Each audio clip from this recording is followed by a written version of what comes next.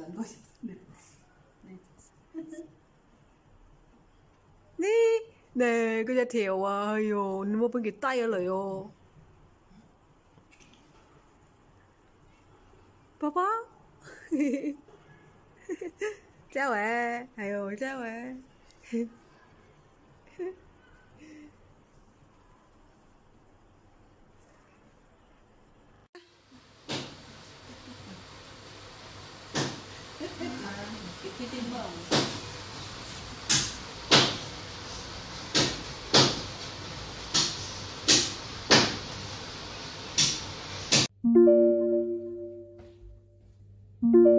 Last week, I had a video chat with my cousin, Ahai. She's my second uncle's daughter. When I was a child, I went to my grandma's every year. We always have a good time together. We haven't seen each other for many, many years. She has two sons. One is running an advertising company in her hometown. The other works in Beijing. At present, she is helping her older son look after his baby daughter, What a young grandma. Ahai and my mother had a very good relationship.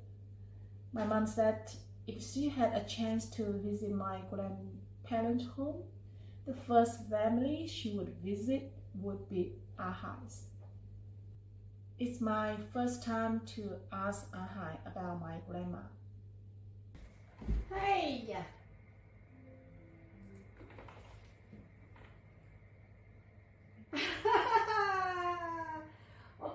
你了。我都没听说这些，我爸他他只是说你之之前呢，嗯，怎么怎么苦难，我说奶奶就这样 受不了了，就就就要何死？呃，那时候，他我爸到这边来的时候也是很受气的，这样啊因为是地主嘛，哦，嗯老是就被人家拿去跪斗。你爸也被跪，也被斗。啊，然然后你知道我奶奶也是，我爸说，为什么我奶奶病几几年在家都是她一个人抱抱上抱下拉屎拉拉拉尿，她都没有说过什么。他说你知道，就因为你奶奶那时候啊，人家想打他的时候，拿去斗啊，嗯奶奶就出去就出头，你要打就打我，别打他。嗯，他说我最记得你奶奶这样付出我他说，很好笑。这样。那时候你爸多少岁？不懂，反正他他他过来这边的时候，他们整天就是找事没事找事给他，嗯，经常拿去跪拿去斗，我是家里面的人呐、是啊。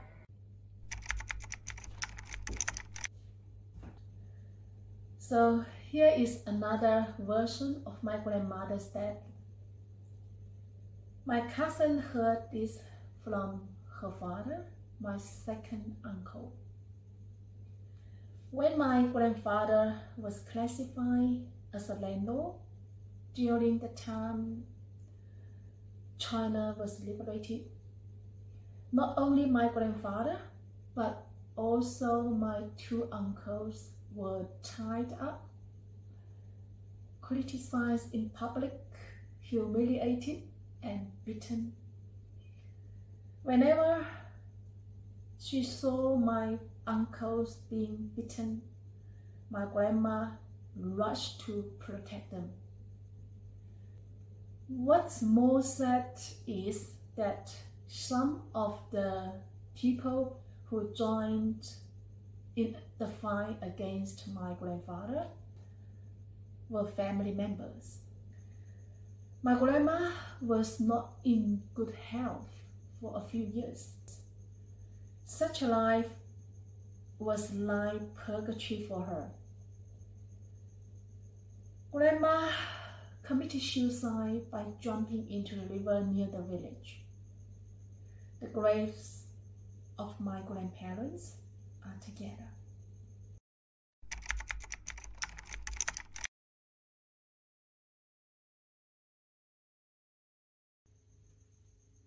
It's very difficult for me to believe it.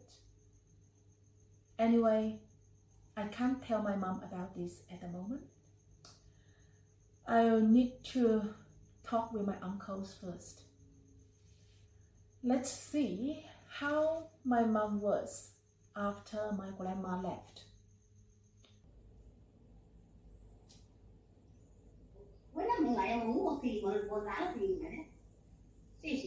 没有骗吧？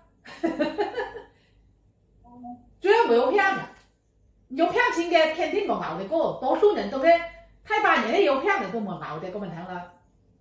說明有有有一隻，有隻老米嗰年咪做呢，嗯，先我啲錢你發現，佢講，我睇人就時間講，要我淨係真正兩家，我啲人就知道搞貼貼嘅，嗯，mấy sợ ngu mà cậu tự thân thế nào quá là mấy sợ ngu anh em cậu yên sinh quá cảm thấy chủ có chủ thì có léo được. Ừ.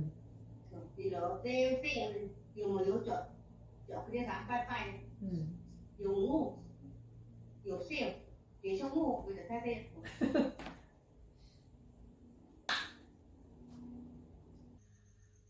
After grandma left, mom was sent to her mother's sister. When mom was about five or six years old, she came back to my grandfather. But my grandfather was in poor health. And after being ransacked, the family had nothing to eat or to wear. At that time, mom's cousin had a young baby son to take care of. Because she had to take part in the village collective work, she needed some help. In order to survive, mom was sent there to be a baby sister. During the corn harvest season, normally every family would bake corns for their children. But my mom never got it. One day, when my mom carried the baby boy out to play with the little girls in the village, a little play partner gave half of her corn to my mom.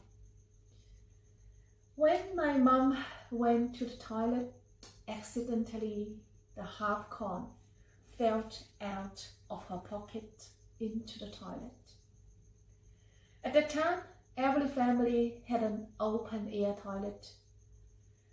Her cousin saw the corn in the toilet and thought it was my mom who stole the corn.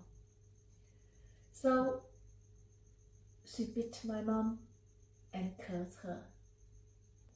Mother ran back to my grandfather's and cried that she would not go back there anymore. However, because there was no one to help with the baby boy, after a few days, the cousin came to pick my mother up again.